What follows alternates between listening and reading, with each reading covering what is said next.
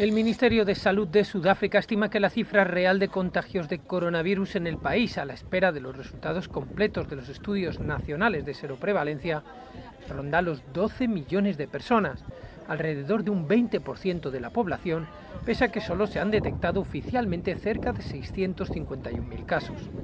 Estos datos demuestran que Sudáfrica ha tenido un enorme número de casos asintomáticos, mayor incluso de lo que se anticipaba al comienzo de la pandemia cuando se estimaba que tres de cada cuatro casos podrían pasar desapercibidos.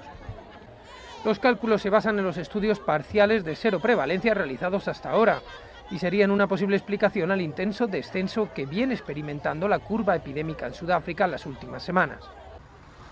Ya en julio, cuando Sudáfrica registraba sus máximos contagios y se colocaba como la quinta nación del mundo más golpeada por la COVID-19, se habían detectado señales de una expansión del coronavirus aún más grande de lo que se pensaba.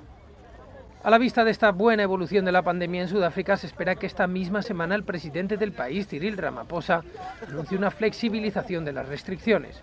Esto podría implicar, por ejemplo, la reapertura de las fronteras de la nación más industrializada de África tras medio año cerradas. Además, la nación austral debe ahora buscar caminos para reflotar su economía tras la devastación provocada por las drásticas medidas. Según las estadísticas oficiales, en el segundo trimestre de 2020, en coincidencia con los meses del confinamiento duro, el Producto Interior Bruto del país sufrió una contracción del 51%.